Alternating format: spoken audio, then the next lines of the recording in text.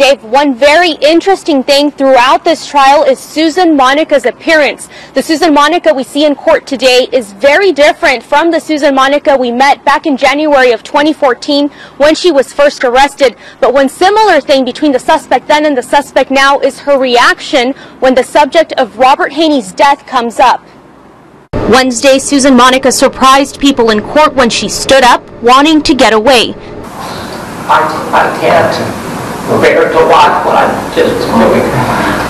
On the screen, detectives questioned Monica on January 10th, 2014, the day of her arrest. Back then, Monica donned a different look. Michael Jones says that's the same Monica who walked through the door of Rodda Paint in Medford when he was employed there.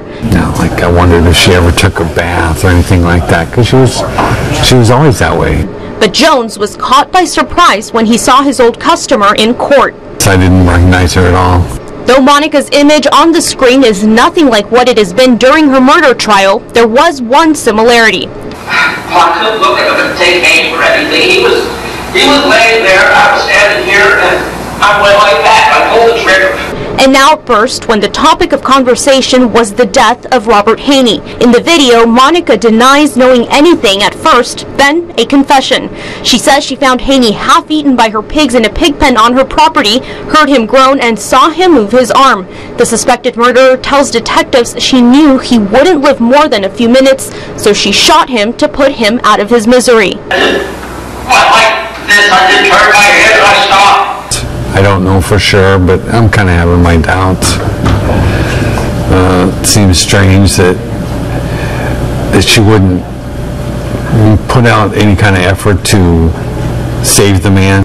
When asked why she didn't call police, Monica spoke of her pig's well-being. Those animals were euthanized during the investigation. Today, the prosecution also got into the death of Stephen Delicino. We're about halfway through a taped recording where Monica says it was an accidental shooting during a struggle over firearms with the victim, during which Delicino was accidentally shot five times. Those firearms were presented in court today as evidence, two rifles and a small handgun. Covering your news live in Medford, Jessica De Nova, News 10.